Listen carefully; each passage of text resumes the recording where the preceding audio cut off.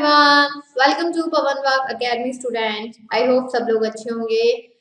So let's start a new chapter of class 7 that is chapter 5 food safety four chapter आप लोग के complete हो चुके हैं। जिन्होंने कंप्लीट नहीं किए हैं, वो प्लेलिस्ट पे जाके अपने सारे चैप्टर्स को कंप्लीट कर सके हैं। जितने तक टिल नाउ मैंने अभी तक कराए हैं that is four chapters right आज हम लोग अपना न्यू चैप्टर स्टार्ट करते हैं। फिफ्थ चैप्टर काफ़ी अच्छा चैप्टर है इंपॉर्टेंट भी है for you student that is food safety as we know that कि आज की टाइमिंग पर प्रेजेंट टाइमिंग पर food is the essential different type के फूड्स एकदम ज़रूरी बन गए फ़ूड तो वैसे भी हमेशा एसेंशियल रहता ही रहता है, लेकिन हम लोग घर के खाने के साथ साथ क्या है? जो एक बाहर का खाना है, उस चीज़ पर ज़्यादा फोकस करने लगे हैं। मोमोज हाँ golgappe and pizza burger French fries and whatever the things हाँ बहुत सारी चीज़ें होती हैं, क्या नाम बताएँ? तो देखिए यहाँ पर क्या है, अगर हम खाना खा रहे हैं तो उसकी सेफ्टी भी बहुत ज़रूरी है। हम लोग मार्केट में जाते हैं तो ओपन में खाना रखा रहता है। पॉल्यूटेड होता है। बहुत सारा खाना है, जो ऑब्वियस सी बात है पॉल्यूटेड हो जाता है। घर में भी हो जाता है स्पेशली हम लोग सर्दियों गर्मियों की बात करें तो क्या होता है मम्मी वगैरह जैसे बाहर खाना छोड़ दिया बाय चांस ठीक है, गर्मी इतनी ज़्यादा होती है टेम्परेचर हमारा 45 डिग्री तक पहुँच जाता है दैट्स लॉट्स ऑफ़ हीट जिसकी वजह से बहुत सारा बैक्टीरिया फंगस ग्रो अप हो जाते हैं और हमारे खाने को क्या है, खराब कर देते हैं, अगर हम उसे फ्रिज में नहीं रखते हैं। और मार्केट में जाते हैं तो मार्केट में आप देखते हो, अगर उन्हें सेफ्टी ना प्रोवाइड करी जाए, एक फ्रिज में या बहुत जगह अच्छी जगह पे ना रखा जाए तो बैक्टीरिया कैसे खराब हो जाता है। तो हम यहाँ पर घर पर या फिर घर के बाहर हम किस तरीके से फ़ूड को सेफ़ रख सकते हैं? By using different methods and prevention we have to study in this chapter इस चैप्टर में हम लोग यही पढ़ने वाले हैं। So let's start all constituents of food मैंने आप लोगों को शायद पहले भी बताया होगा कि हम लोगों के जो मेन uh, कॉन्स्टिट्यूएंट होते हैं फ़ूड के वो आप लोगों के फाइव होते हैं। कौन कौन से होते हैं यहाँ पर? जो न्यूट्रिशेंट होते हैं मेन जो हमारे फ़ूड में प्रेजेंट होते हैं। वो होते हैं आप लोगों के कार्बोहाइड्रेट मैं दोबारा से लिखवा देती हूँ। Carbohydrate fat protein vitamin minerals ठीक, इसके अलावा water water is also nutrition and fibre भी होता है, ठीक है? तो हमारे ऑल कंप्लीट फ़ूड में क्या क्या प्रेजेंट होते हैं? कार्बोहाइड्रेट होता है फैट होता है प्रोटीन होता है विटामिन होते हैं मिनरल्स होते हैं वाटर होता है एंड फाइबर होता है। और ये हमारी बॉडी की ग्रोथ के लिए बहुत ही ज़रूरी है। अगर इनमें से कुछ भी हमारी बॉडी में कमी हो जाएगी तो हमारी बॉडी क्या है, अच्छी तरीके से ग्रो नहीं कर पाएगी। और ये जितनी भी मैंने आप लोगों को सिक्स न्यूट्रिशन बताए हैं they are found in wheat jowar, pulses, rice, vegetables and fruit, etcetera. Not in pizza and burger. ऐसे में इसमें नहीं मिलता है।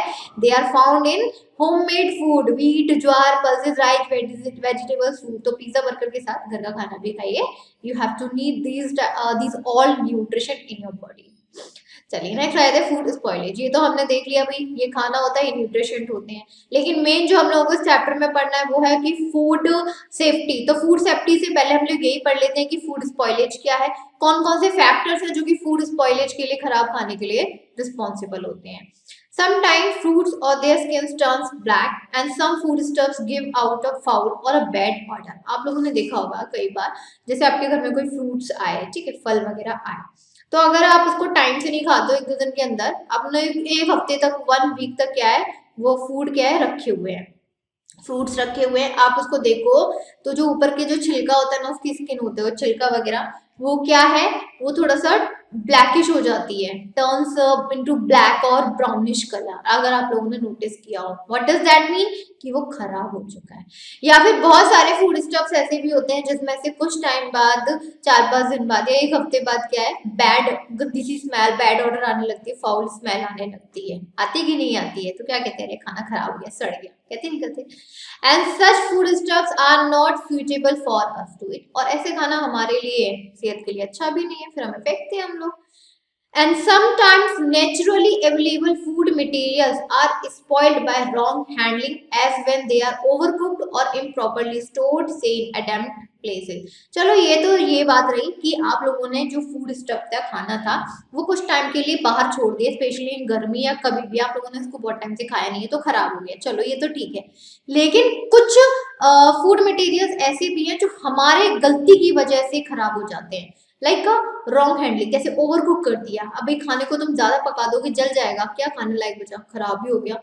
इम्प्रॉपरली स्टोर्ड यानी कि आप लोगों को उसको अच्छी तरीके से धो के फ्रिज में रखना चाहिए बट आपने क्या किया, लेके आए मार्केट से पॉलीथिन में बंद है, और उसको फ्रेश एयर नहीं मिल पाई, खराब हो गया। से in attempt places attempt places में आप कर सकते हो, जैसे आप लोग को फ्रिज में रखना चाहिए, एकदम ओपन एरिया में रखना चाहिए विद फ्रेश एयर बट हमने क्या किया? कहीं एक कोने में जाके पटक दिया, है ना? उसको ना फ्रेश एयर मिल रही है, ना ठंडक मिल रही है, कुछ नहीं मिल रही तो ऑब्वियसली बात है, खराब तो खाना हो गई। And such cases the quality of the food materials deteriorate और कभी कभी तो ऐसा होता है कि फ़ूड की क्वालिटी ही अच्छी आ रही। आज के प्रेजेंट टाइमिंग पर देखा जाए तो फ़ूड की क्वालिटी तो बिल्कुल नहीं आ रही है। हम लोग चाहे फ्रूट में बात करें, चाहे वेजिटेबल्स में बात करें, लोग बाग कैसे उसको ग्रो कर रहे हैं? इंजेक्शन लगा लगा के। इंजेक्शन लगा रहे हैं ग्रो कर रहे हैं। इंजेक्शन लगा रहे हैं ग्रो कर रहे हैं। राइट तो क्वालिटी ऑफ़ फ़ूड वैसे भी अच्छी नहीं आ रही है तो वैसे भी खराब हुआ। सो दे ऑल्सो भी स्पॉइल ड्यूरिंग ट्रांसपोर्टेशन कभी कभी ऐसा होता है कि बहुत सारे जो फ्रूट्स और वेजिटेबल्स हैं ट्रक में भर के आती हैं और ट्रक में इतना ओवरलोड कर देते हैं, सारी चीज़ें पिचक जाती हैं। ठीक? केले हैं। केले को एक से दबा के रख दोगे प्रेशराइज करके पिचक जाएँगे, सारे खराब हो जाएँगे ना खाने लायक थोड़ा ना बचेंगे। तो कभी कभी क्या है वेजिटेबल्स और फ्रूट जो भी फ़ूड स्टफ्स है कभी कभी ट्रांसपोर्टेशन की वजह से भी खराब हो जाता है। And the food stuffs we consume, whether of animal or a plant source, must be of the best quality. ध्यान रखिए, हम चाहे कोई भी फ़ूड खा रहे हैं, चाहे एनिमल का फ्लैश खा रहे हैं, चाहे प्लांट से बना हुआ कोई भी प्रोडक्ट है, वो हमेशा अच्छी क्वालिटी का होना चाहिए। अदरवाइज़ हम लोग को कोई भी डिसीज हो सकती है, हम बीमार पड़ सकते हैं and the food is said to be spoiled if there is a change in its color, order, texture, quality, taste and there is a loss of its nutrition content. और हम एक खराब खाने को खराब खाना कब कह सकते हैं जब उसका कलर चेंज हो जाए उसमें से स्मेल आने लगे उसका टेक्सचर चेंज हो जाए ब्लैक येलो था ब्लैक पड़ गया ब्राउन पड़ गया क्वालिटी बिगड़ जाए है मीठा लगना चाहिए था कड़वा लग रहा है टेस्ट बिगड़ जाए या उसके बहुत सारे न्यूट्रिशन उसके अंदर प्रेजेंट नहीं है। इन सारी कंडीशन में हम क्या कहेंगे? That are food has been spoiled क्या हो चुका है वो? खराब हो चुका है। But it and various kind of changes occur in food materials और हमारे फ़ूड में ना बहुत सारे चेंजेस आते हैं जब वो खराब होता है। जैसे कि उसका पहली बात तो जो कलर है वो चेंज हो जाएगा। आपने देखा है ना? जैसे कि येलो कलर का था, कुछ टाइम रखा हुआ है, केले को ही देख लो येलो कलर का होता है, कुछ टाइम रखा है ब्लैकिश पड़ जाता है। चेंज टेस्ट हो जाता है, जो टेस्ट है वो चेंज हो जाएगा। मीठा था, कड़वा कड़वा सा लगना हो जाएगा। यही मीट की बात करें तो मीट अगर कुछ टाइम तक, काफ़ी टाइम तक रखा हुआ है तो खट्टा हो जाता है एसिडिटी मतलब रैंसिड हो जाता है, काला काला सा बन जाता है। आपने अगर कोई मीट खाता है तो उसको पता होगा। मुझे भी ज़्यादा नहीं पता because I don't and all these changes अगर due to factors within the food materials और ये जितने भी फैक्टर हैं, चाहे उसका कलर चेंज हो जाना टेस्ट चेंज हो जाना सोर हो जाना रेसिड हो जाना, ये सब किसके फैक्टर हैं? ये फ़ूड मटेरियल के अंदर होते हैं एंड फ़ूड मटेरियल के अंदर होते हैं और इसके अलावा फ़ूड को स्पॉइल कर देते हैं। नेक्स्ट है often food grains often food grains etcetera produced in farms are damaged due to various reasons like improper handling, improper storage, improper transportation, etc. And some foodstuffs like meat and milk are either acidic or alkaline. यहीं पर बहुत सारे food grains भी होते हैं grains में मतलब जैसे wheat, jowar, bajra, pulses, these are grains in seed. in the in the form of seed they are called food grains जो कि farms में produce किए जाते हैं वो भी improper handling की वजह से स्टोरेज अच्छी तरीके से उसको स्टोर नहीं किया, अच्छी तरीके से ट्रांसपोर्ट नहीं किया अच्छे व्हीकल में, और ट्रक ट्रक वगैरह में, खराब हो जाते हैं। और हम लोग यहीं पर मीट और मिल्क की बात करें तो वो एसिडिक कन्वर्ट हो जाते हैं, खट्टा हो जाता है मिल्क एकदम उसको फाड़ देते हैं ना, या तो फट जाता है, कहते हैं ना एसिडिक हो जाता है, वो पनीर बनाते हैं, फिर उसका ऐसे मीट भी हो जाता है। कभी कभी हम लोग उसमें फ़ूड में इतना सारा केमिकल मिक्स कर देते हैं तो वो केमिकल की वजह से भी खराब हो जाता है। मैंने भी आप लोगों को क्या बताया था कि बहुत सारे हम लोगों के फ्रूट्स और वेजिटेबल्स हैं जो नेचुरल तरीके से ग्रो नहीं करे जा रहे हैं, बल्कि उनको इंजेक्शन लगा के ग्रो कराया जा रहा है। तो ऑब्वियसली बात है, खाना फिर भी खराब होगा। And some time food stuff may be spoil due to contamination by microorganism और insect from the surrounding air water oil और इसके अलावा जो मेन फैक्टर आज के टाइम पर काम कर रहा है, वो है माइक्रो ऑर्गेनिज यानी कि हमारे आसपास इतने सारे बैक्टीरिया और वायरसेस ग्रो हो चुके हैं हमारे एयर में वाटर में सॉइल में, हर जगह फैले हुए हैं। खाना दिखानी अटैक कर देते हैं और हमारे खाने को पूरी तरीके से बर्बाद कर देती हैं। अब मार्केट में जाओ मार्केट में कोई भी सामान रखो है लेकिन मक्खी भिनभिनाती रहती है, अगर छोटे मोटे ऐसी जगह पे जाया जाए तो। हम्म क्या है? हम लोग खा तो लेते हैं तो ध्यान नहीं देते हैं, लेकिन बाद में होता क्या है? वो खाना एक्चुअली में खराब होता है। भाई, मक्खी है बहुत ज़्यादा पॉल्यूटेड ठीक है? और वही पॉल्यूटेड मक्खी अपने पॉल्यूशन को उस खाने पर कर रही है। तो जिसकी वजह से हम लोगों को क्या है? डिहाइड्रेशन की प्रॉब्लम एंड बहुत सारी चीज़ें हैं हम लोगों के। प्रॉब्लम हो जाती है, बीमार पड़ते हैं हम लोग। But with the help of science and technology India has shown great progress in the production of various foodstuffs like cereals, fruits, vegetables, fish as well as milk and milk products. लेकिन uh, products को spoil होने के लिए होने से बचाने के लिए हमारे इंडिया ना बड़ा ही अपनी साइंस और टेक्नोलॉजी का यूज़ करके बड़ी आगे बढ़ चुकी है जैसे कि सीरियल्स जो कि इम्पोर्टेंट फ़ूड स्टफ्स है हमारे इंडिया के लिए जैसे सीरियल्स हुए फ्रूट हुए, वेजिटेबल्स हुए, फ़िश, मिल्क मिल्क प्रोडक्ट्स, इन सारी चीज़ों को ग्रो कर रही है प्रोड्यूस कर रही है with best quality with best quality और स्पॉइल होने से भी कम बचा क्या नाम है, हम लोगों को प्रोटेक्ट कर रही है फ़ूड को, क्योंकि भाई फ़ूड स्पॉइल होने का मतलब सीधा सीधा मतलब यही है कि इंडिया को नुकसान होना। कि भाई इंडिया अपना इतना पैसा, इतनी सारी एग्रीकल्चर ग्रो कर रही है लोगों के पास पहुँचाने के लिए, उनसे खरीद के, पैसे कमाने के लिए और वही खाना उनका खराब हो रहा है। तो कहीं ना कहीं इनडायरेक्टली देखा जाए तो भाई नुकसान तो गवर्नमेंट का ही हो रहा है और गवर्नमेंट का भी अपना नुकसान नहीं चाहेगी वो कहेगी, भाई चाहे जितनी भी साइंस और टेक्नोलॉजी कुछ भी यूज़ करना पड़े, लेकिन खाना बढ़िया होगा। भाई खाना लोग खाते हैं, पैसे जाते हैं, ये सारी चीज़ है। And even so many people in our country and all over the world face the problem of hunger ये तो पता ही है ना हंगर जानते हो ना, जो लोग भीख वगैरह मांगते भाई उनके पास खाने के लिए तक कुछ नहीं है, नहीं मिल पा रहा। पैसे नहीं है, खाने को नहीं मिल पा रहा, कुछ भी हम कह सकते हैं। मतलब उनको एक टाइम का खाना बिना भारी पड़ जाता है। एक टाइम का खाना भारी पड़ जाता है उनको नहीं मिल पा रहा है किसी भी कारणवश, कोई भी कंडीशन की वजह से तो बेटर है कि हम लोग थोड़ा सा वेस्टेज कम करें। हम लोग के अंदर क्या रहता है जैसे हम लोग घर पे तो नहीं करते, क्योंकि घर पे हम लोग लिमिटेड खाते हैं, जितना ज़रूरत है उतना ही खा रहे हैं, मम्मी बनाती जा रही है, खाते जा रहे हैं तो घर पे इतना वेस्ट नहीं होता है। टिक हिसाब से बनता है, लेकिन हम बाहर जाते हैं तो बाहर पे हम लोगों ने ऑर्डर कर लिया, ठीक है? ऑर्डर करने के बाद क्या है हम हमें पता चला, यार इतनी तो भूखी नहीं थी। क्या हुआ? वेस्टेज तो हो गया। सब्ज़ी छोड़ दी चावल छोड़ दिया कुछ भी छोड़ दिया। That is the wastage of food अब से कोई खा तो सकता नहीं है। ऑब्वियसली बात उसको फेंक दिया जाएगा डॉग्स को, जो भी स्ट्रीट एनिमल्स होते हैं, उनको फेंक दिया जाता है। तो बेटर है कि हम लोग थोड़ा वेस्टेज ऑफ़ फ़ूड भी कम करें। हम्म जितना ज़रूरत है उतना खाएँ। इवन घर में ही नहीं, बाहर भी ऐसा फॉलो करना चाहिए हम लोगों को। अब यहाँ पर भी दो तरीके से होता है। क्वांटिटेटिव वेस्टेज ऑफ़ फ़ूड एक होता है क्वालिटेटिव वेस्टेज ऑफ़ फ़ूड जो वेस्टेज ऑफ़ फ़ूड है, वो भी दो तरीके से है। एक क्वांटिटेटिव और एक क्वालिटेटिव जैसे ग्रामर में पढ़ते हो ना क्वांटिटेटिव क्वालिटेटिव साइंस में भी है। Wastage of food has two types quantitative and qualitative first we talk about the quantitative quantitative का मतलब आप समझ रहे हो बेटा? क्वांटिटी क्वांटिटी यानी कि जो वेस्टेज ऑफ़ फ़ूड हो रहा है, वो आपका क्वांटिटी के बेसिस पर बात करी जा रही है। क्वांटिटी समझते हो ना? जिसको काउंट किया जा सके। काउंट क्वांटिटी को आप काउंट कर सकते हो ना। मैं आपसे यहाँ पर कहूँ, एक सेकेंड मैं आप लोगों से कहूँ बेटा कि यहाँ पर मैंने आप लोगों को ट्वेल्व डोजन जो बनानास है, वो मैंने आपको प्रोवाइड किए। ठीक है? तो आप क्या कहोगे कि आपके पास कितनी क्वांटिटी है?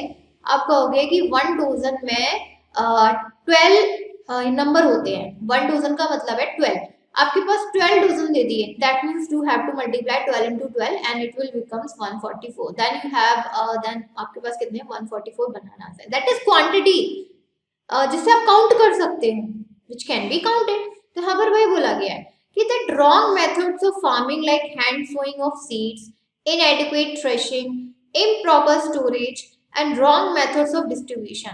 For some reason for quantitative wastage of food यानी कि क्वांटिटी वेस्ट हो रही है ज़्यादा से ज़्यादा मैटर क्या है? वेस्ट हो रहा है। क्वालिटी वो उसकी इंटरनल चीज़ हो गई। Quantity is the external cheese which we can count so अगर हम लोग गलत तरीके से बीज को गाड़े थ्रेशिंग हम्म, गलत तरीके से हुई है स्टोरेज अच्छा नहीं किया है रॉन्ग मेथड ऑफ़ डिस्ट्रीब्यूशन है यानी कि ट्रांसपोर्टेशन अच्छी तरीके से नहीं किया है तो वेस्टेज ज़्यादा से ज़्यादा क्वांटिटी में वेस्ट होगा। अभी आप बताओ कि आप लोगों ने वीट आ, क्या नाम है? वीट ठीक है कहीं ट्रांसपोर्ट करवाया। आपने चार ट्रक वीट को ट्रांसपोर्ट करवाया मार्केट में लेकिन उसमें से दो ट्रक खराब हो गए। दो ट्रक में जो वीट था वो खराब हो गया ड्यू टू इम्प्रॉपर स्टोरेज आपने दवा दवा के डाल दिया सब खराब हो गए सड़ गए। तो यहाँ पर आप क्या कहोगे? दो क्वांटिटी यानी कि जो दो ट्रक उसमें सपोज़ करो कि दो ट्रक में दो सौ कुंटल गेहूँ थे तो आप क्या कहोगे? 200 कुंटल गेहूँ खराब हो गए। आप ये नहीं कहोगे कि ये गेहूँ खराब हो गए। 200 कुंटल गेहूँ खराब हो गए, यानी कि अब उसकी क्वांटिटी को काउंट करके बता रहे हो। अब एक और एग्जांपल ले लो क्वांटिटी में नहीं समझ में आया। मैंने अभी आपसे कहा कि आपके पास ट्वेंटी मैंगो थे। आपके पास ट्वेंटी मैंगो थे। उसमें से आपने देखा, कई दिन काफ़ी दिनों से उसको खाए नहीं थे, अच्छी तरीके से रखा नहीं था प्रॉपर स्टोरेज नहीं किया था। उसमें से फाइव मैंगो क्या हो गए, खराब हो गए स्पॉइल हो गए। तो ये क्या है? क्वांटिटी है ना विच वी कैन काउंट कि आपके पास ट्वेंटी मैंगो थे एंड फाइव उसमें से खराब हो गए तो आपके पास अभी कितना बचा? आपके पास फिफ्टीन मैंगो बचे। दैट इज़ क्वांटिटी और फाइव उसमें से खराब हो गए। समझ में आया? And besides, much food is wasted as a result of the custom of offering and serving too much food to guests at traditional feast or banquet. सबसे ज़्यादा फ़ूड मतलब कब वेस्ट होता है? स्पेशली इन फ़ंक्शन में। जैसे शादी हुई है। शादी में तो भाई आप सब लोग जानते हैं मुझे क्या बताना, शादी हुई है, किसी की शादी में आप लोग गए खाना खा रहे हैं, आप लोगों ने भर भर के ले लिया बट आपका पेट है, भर गया। अब नहीं खा सकते, कतई, बिल्कुल भी नहीं खा सकते हैं। क्या करोगे आप? फेंक ही तो दोगे। क्वांटिटी क्या कर दी आप लोगों ने? फ़ूड की। वेस्ट कर दी? ठीक। कोई भी फ़ंक्शन होता है, कोई भी सेरेमनी होती है, कोई भी फीस्ट होता है, क्या होता है हमारे साथ? यहाँ पर हम लोग खाना तो रख लेते हैं। बाद में पता चला, भैया, हमें तो इतनी भूख ही नहीं थी। क्या हुआ? खाना वेस्ट हो गया। Had it not been wasted, all this food could have made the meal of any others. अगर ऐसा ना हो ना अगर इतना वेस्ट ना करें तो हो सकता है ये खाना किसी को मिल जाए भाई अदर्स को जिसको नीड है। सो नेक्स्ट आता है क्वालिटी क्वालिटेटिव का मतलब है यहाँ पर बात करी जा रही है फ़ूड की क्वालिटी की। यहाँ पर क्या है? फ़ूड की क्वालिटी की बात कर रहे हैं। जैसे By using wrong methods of protecting food, excessive use of food preservatives, overcooking, washing the vegetables after cutting them, mishandling of fruits like grapes and mangoes, miscalculation of the time required to transport food from producers to consumer are some of the causes of qualitative wastage of food. यहाँ पर qualitative से मतलब मैंने क्या बता दिया आप लोगों को क्वालिटी की बात हो रही है भाई क्वालिटी की जैसे कि यहाँ पर बात करें हम लोगों ने फ़ूड प्रिजर्वेटिव यूज़ करें केमिकल यूज़ करते हैं। मार्केट में जितनी भी चीज़ें आती हैं, खराब नहीं होती छह छह महीने तक एक एक एक एक साल का टाइम पीरियड लिखा रहता है। Before use nine month before use twelve month लिखा रहता है। क्या यूज़ होता है इसमें? Food preservative food preservative means that is some types of chemical some types of chemicals that are used in food preservative, as a food preservative. Over खाना ज़्यादा पक गया ऑब्वियसली बात है, वो इसकी क्वालिटी भी खराब होगी, मम्मी से गलती से भी, गलती से थोड़ा सा नमक भी ज़्यादा पड़ जाए क्या कहते हैं यार, कितना नमक कर दिया। ओवर कुकिंग खाना बढ़िया नहीं बना है क्वालिटी बिगड़ गई, मज़ा ही नहीं आ रहा टेस्ट ही नहीं आ रहा कुछ। वॉशिंग द वेजिटेबल्स वेजिटेबल्स को गलत तरीके से वॉश करना कट करना, उसके विटामिन खत्म हो जाते हैं। अगर सपोज़ करो कोई फ्रूट्स मैंगोज हैं, आप उसको ट्रांसपोर्ट कर रहे हो और आपने एक ट्रक में एक जगह पे इतना उसको भर भर दिया, इतना भर दिया है, एकदम पिचक गए, एकदम बेकार से हो गए इसका बूदा बाहर निकल निकल के भाग रहा है। क्या है? क्वालिटी खराब हो गई। यहाँ पे क्या खराब हो गई इसकी? क्वालिटी खराब हो गई। तो जैसे कि मैंने भी आपको बताया फ्रूट्स एंड वेजिटेबल्स आजकल जो ग्रो किए जा रहे हैं, वो by using chemical through use किए जा रहे हैं। ज़्यादा जल्दी उनको ग्रो करवाने के लिए इंजेक्शन लगाते हैं केमिकल्स का। ग्रो कर जाते हैं, लेकिन उसकी क्वालिटी तो नहीं आती ना, जो एक नेचुरली आनी चाहिए, वो क्वालिटी आती नहीं है। So that is qualitative wastage of food next देखिए what can you do to prevent the food wastage and spoilage points पढ़ लेते हैं, काम आएँगे। First point serve yourself only as much you can eat उतना ही सर्व कीजिए फ़ंक्शन पार्टी में जितना खा सके। बाद में ले लो if you need but starting में नहीं। अवॉइड ओवर कुकिंग फ़ूड उतना ही पकाओ जितना ज़रूरत है, उससे ज़्यादा नहीं। जो ओवर कुक करने से क्या होता है, उसके न्यूट्रिशन वगैरह खराब हो जाता है टेस्ट भी बिगड़ जाते हैं, नीचे से जल गया, खाते ही नहीं है कोई, फेंकना है फिर। Avoid throwing away leftover food reuse it in a proper way जो खाना बच गया है तो फिर क्या उसको फेंकना? सुबह कुछ खाना बनाया, सब्ज़ी बनाई, दाल बनाई, बच गई तो फेंक क्यों रहे हो भाई? उसको शाम को तड़का लगा के दोबारा से खाओ। अच्छी तरीके से, नया टेस्ट आएगा। Buy only as much grain, vegetables, fruit, milk, etc. as you need. Avoid the temptation to make excessive purchases. भाई उतना ही खरीदो जितना ज़रूरत है ऐसा मत करो कि आपने एक साल वन ईयर का जो खाना एक साल खरीद लिया आ, दो महीने बाद पता चल रहा है सारा खाना खराब आ, किसी में कीड़े लग गए किसी में सड़ गए किसी में फंगस लग गई क्या फ़ायदा ऐसे का भाई आराम से एक महीने का राशन खरीदिए दूसरे महीने दूसरा बार खरीदिए तीसरे महीने तीसरा बार खरीदिए खराब तो नहीं होगा एक साल का इकट्ठा खरीद के क्या करना है Store grains and other perishable foodstuff like vegetables, fruit, milk, etc. using proper method. अगर आपके पास कोई भी घर में कोई भी फ़ूड स्टफ्स हैं वेजिटेबल फ्रूट मिल्क तो उसको अच्छे तरीके से प्रॉपर मेथड में यूज़ रखिए या तो फ्रेश एयर में ओपन एरिया में रखिए फ्रिज में रखिए खराब नहीं होंगे check the expiry date of bottle can pack food and use within that time हमेशा एक्सपायरी डेट देखकर ही खाना खरीदे कुछ भी पैकेट वगैरह खरीदें एक्सपायरी डेट नहीं देखोगे ऑब्वियसली वो खाना खराब हो चुका होगा, आप यूज़ करोगे एंड आप बीमार पड़ जाओगे। तो बेटर है कि अगर आपके घर में कोई एक्सपायर हो चुका है तो उसको यूज़ ना करें। फेंक दीजिए। फेंकने से मतलब स्ट्रीट डॉग को दे दीजिए, उन्हें कुछ नहीं होगा eat all the food that you have serve yourself और जितना जितना सर्व किया है ना तो उसको खत्म करो। ऐसा नहीं है कि भाई, इतना कर लिया सर, अब भूख नहीं है, फेंको। तो या तो कमी सर्व करो किया है तो पूरा खाओ। अब कैसे खाओगे? आपके ऊपर है हम्म? चलिए नेक्स्ट है sixteen October that is world food day and work towards food security and avoid food wastage यहाँ पर क्या है? uh, जैसे हम लोग वर्ल्ड ओजोन डे बनाते हैं वाटर डे बनाते हैं अर्थ डे बनाते हैं बहुत सारे डेज़ होते हैं same as it is world food day होता है सिक्सटीन अक्टूबर को and to aim of the world food day to work towards food security and avoid food wastage next अब आते हैं food storage and preservation we have learnt about various methods of safe storage of food, like freezing, drying, boiling, airtight packing etc आप लोगों ने already fifth और six में पढ़ा होगा कि हम लोग बहुत तरीकों से फ़ूड को स्टोर कर सकते हैं। जैसे कि खाने को फ्रिज में रख दो, नहीं होगा। ड्राई ड्राइंग कर दो उसको, सुखा के एकदम फ्रेश एयर में रख दो, कभी खराब नहीं होगा। बॉईल करके दूध को हमेशा बॉईल करके क्यों रखते? कच्चा क्यों नहीं रख देते? हाँ? बॉइलिंग से क्या है? प्रिजर्वेशन है। एयर टाइट पैकिंग किसी भी खाने को हमेशा एयर टाइट कंटेनर में रखिए ताकि उसके अंदर कोई भी पॉल्यूशन बैक्टीरिया ना एंटर कर पाए। सेफ़ हो जाएगा। And so these different methods prevent the growth of microorganisms in food and thereby save the food from spoiling. ये methods क्या कर रहे हैं? uh, जो माइक्रो की ग्रोथ है उसको होने नहीं देते हैं और हमारे फ़ूड को खराब नहीं होने देते बचा रहता है। Next food protection and food preservation now what is food protection prevention of ये डेफिनेशन आ सकती है these are the definitions prevention of food spoilage by microbial growth and infestation by pest is called food protection. कि हमें अगर अपने food spoilage को बचाना है तो माइक्रोबियल ग्रोथ को रोकना होगा। इन्फेस्टेशन बाय पेस्ट जो हम लोग केमिकल यूज़ करते हैं पेस्टिसाइड वगैरह उसको कम करें या बिल्कुल ही ना करें तो हम लोग क्या कर सकते हैं फ़ूड को प्रोटेक्ट कर सकते हैं। क्योंकि जब हमारे फ़ूड में माइक्रोबियल ग्रोथ हो जाती है, हम ज़्यादा से ज़्यादा केमिकल और पेस्टिसाइड का यूज़ करते हैं तो हमारा फ़ूड खराब होने लगता है स्पॉइल होने लगता है और इन सारी चीज़ों को अगर हम रोक देते हैं, इसी को हम लोग क्या बोलते हैं फ़ूड प्रोटेक्शन एक होता है आपका फ़ूड प्रिजर्वेशन प्रोटेक्शन और प्रिजर्वेशन में बहुत डिफरेंस है lots of difference use of various preservatives to prevent for a long period of time, and food spoilage due to internal factors called food preservation. एक है फ़ूड प्रोटेक्शन फ़ूड प्रोटेक्शन का मतलब है कि food अंदर से तो ठीक है। फ़ूड अंदर से ठीक है। लेकिन जब बाहर से माइक्रोब्स की ग्रोथ हो जाती है पेस्टिसाइड का केमिकल्स का ज़्यादा यूज़ हो जाता है तो खराब होने लग जाता है। और उसी चीज़ का यूज़ कम कर दे। तो फ़ूड प्रोटेक्शन और फ़ूड प्रिजर्वेशन का मतलब है कि उसको इंटरनली खराब होने से, जैसे खाना सड़ जाता है, काफ़ी टाइम तक रखा रहता है, बहुत सारी चीज़ें हैं। तो फ़ूड को इंटरनली प्रिवेंट करने के लिए, खराब होने के लिए जो हम प्रिजर्वेटिव्स यूज़ करते हैं, जो केमिकल्स यूज़ करते हैं दैट इज़ फ़ूड प्रिजर्वेशन ये दोनों मार्क्स की डेफिनेशन है इंपॉर्टेंट है मार्क कर लीजिए, आप लोग के एग्ज़ाम में डेफिनेटली आपसे पूछी जा सकती है।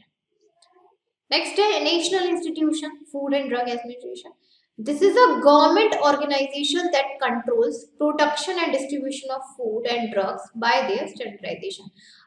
Food and drug administration एक तरह की गवर्नमेंट ऑर्गेनाइजेशन है, जो किस जगह पे कितनी फ़ूड और ड्रग्स की ड्रग्स मतलब मेडिसिन ड्रग्स का मतलब गलत मत लेके जाना भाई। ड्रग्स आर द मेडिसिन अब वो बात अलग है कि वो थोड़ा सा ड्रग्स कहते हैं ना, एक उसका गलत वर्ड बन गया है।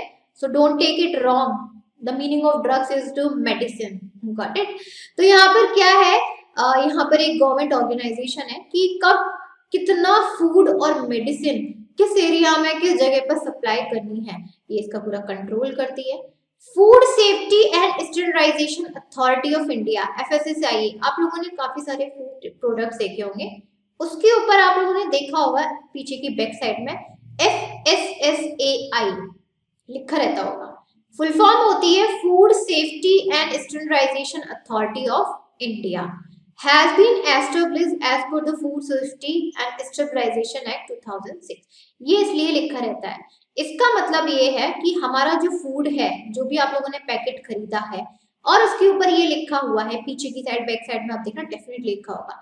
इसका मतलब ये है, ये भी एक सोसाइटी आई मीन एक पूरा ऑर्गेनाइजेशन है। दैट मीन कि जो पैकेट है फ़ूड का वो पूरी तरीके से चेक होके आया है। ना उसकी क्वालिटी बेकार है, ना उसकी क्वांटिटी बेकार है और प्लस अच्छा भी है खाने में। तो ये फ़ूड सेफ्टी और स्टराइजेशन एक्ट 2006 है, जिसके तहत हमारे फ़ूड पैकेट में आने से पहले उस पर पूरी तरीके से देखा जाता है, कहीं खराब तो नहीं है, कुछ चीज़ तो नहीं है। ओके चलिए। Now next is method of food protection काफ़ी सारे मेथड है हम लोगों के फ़ूड प्रोटेक्शन के। अब इनको डिटेल में पढ़ेंगे। अभी तक तो आप लोगों को थोड़ा सा बस पढ़ लिया फ्रीजिंग बॉइलिंग के साथ। थोड़ा डिटेल में भी पढ़ लें पहले है आप लोगों का फ्रीजिंग भाई फ्रीजिंग के बारे में तो सब जानते हैं। फ्रिज में रख देना। यही जानते हो?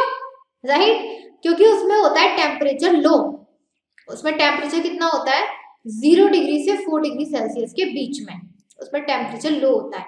ध्यान रखना, जब कभी भी, कहीं का भी टेम्परेचर लो होगा ज़ीरो से फोर डिग्री सेल्सियस के बीच में, वहाँ कभी भी बैक्टीरिया, फंगस और वायरस, इन तीनों की ग्रोथ नहीं हो सकती है। जब कभी भी, कहीं का भी टेम्परेचर ज़ीरो से फोर डिग्री सेल्सियस के बीच में है, वहाँ पर बैक्टीरिया, फंगस और वायरस, इन तीनों में से किसी की ग्रोथ नहीं होती है। और जब इन तीनों की ग्रोथ नहीं होगी तो फ़ूड भी हमारा स्पॉइल नहीं होता।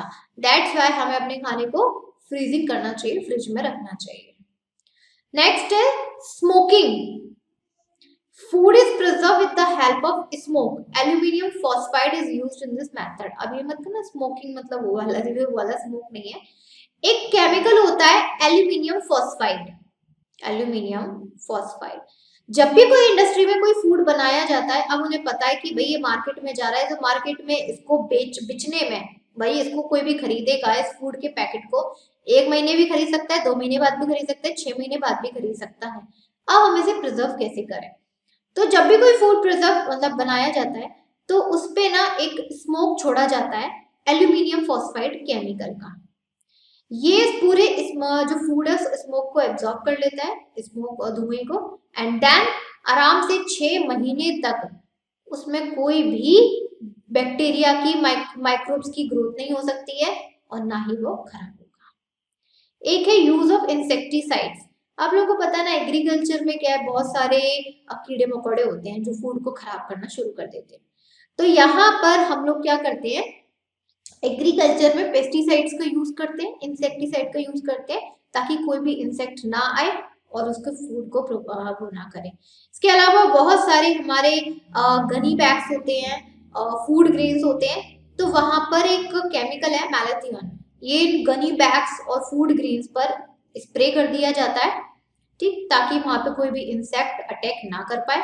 और इंसेक्ट अटैक नहीं करेगा तो खाना भी खराब नहीं होगा। नेक्स्ट है insert gas use of insert gas आप लोगों को पता है ना, जो बड़े बड़े पैकेट्स आते हैं, उसमें कहते हैं ना अरे यार, आधी तो हवा भरी है। पोटैटो चिप्स तो इतने ही थे। चिप्स तो इतने ही थे, बाकी तो हवा वही थी। तो वो नाइट्रोजन गैस होती है। तो नाइट्रोजन गैस का काम सिर्फ़ ये नहीं होता कि लोगों को बेवकूफ़ बनाना कि पैकेट तो भैया इतना भरा हुआ है, पूरा निक देखा तो इतना भरा हुआ था, पूरी गैस भरी हुई है। एक्चुअली में नाइट्रोजन गैस का काम होता है यहाँ पर कि भाई ये जो पोटैटो चिप्स है एक एक साल तक मार्केट में रखे रहते हैं, पूरा छह छह महीने तक टंगे रहते हैं, कब कौन खरीद रहे हैं क्या पता राइट तो ये नाइट्रोजन गैस क्या करती है? कभी भी उस पैकेट के अंदर फंगस की इंसेक्ट्स की बैक्टीरिया की ग्रोथ नहीं होने देती है। तो इससे क्या है? हमारे चिप्स हैं जो बेचारे इतने से ही भरे हुए हैं उसमें, उनको प्रोटेक्ट करती है तो नाइट्रोजन गैस का काम सिर्फ़ नहीं है कि लोगों को बेवकूफ़ बनाना रहे यार पैकेट इतना भरा हुआ है इसमें बहुत सारे होंगे। पता चले निकलते इतने। इसका काम कहीं ना कहीं ये भी है। इसके अलावा यूज़ ऑफ़ प्रिजर्वेटिव यानी कि हम लोगों को अगर अपने घर पे ही बहुत सारे फ़ूड को प्रिजर्व करना है तो वहाँ पर आप सॉल्ट शुगर ऑयल राइट जैसे कि हम लोग की मम्मी अचार बनाती है, जैम, मुरब्बा, पेठा, घर पे बनता है मार्केट में बनता है।